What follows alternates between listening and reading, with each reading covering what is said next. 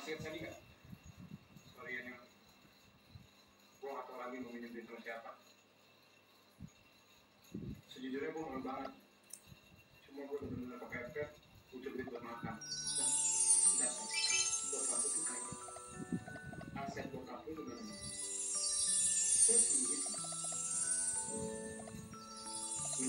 meninggal, nyokap banget dan sering sakit-sakitan.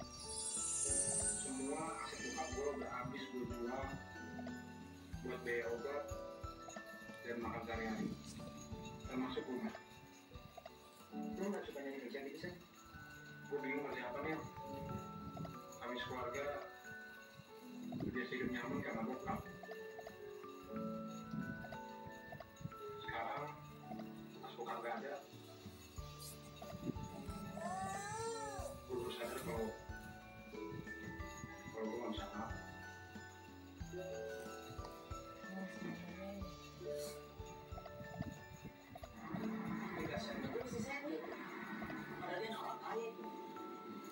Sih gue tidak pernah dia minta stroke nya. Dia udah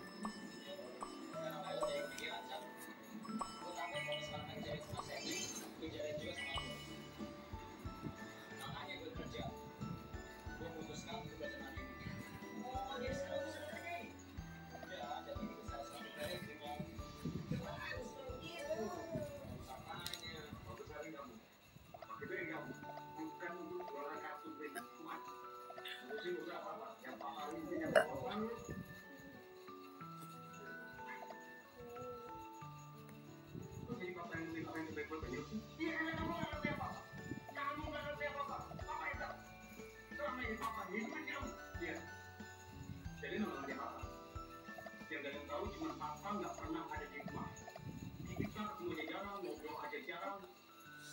meninggal papa juga lapor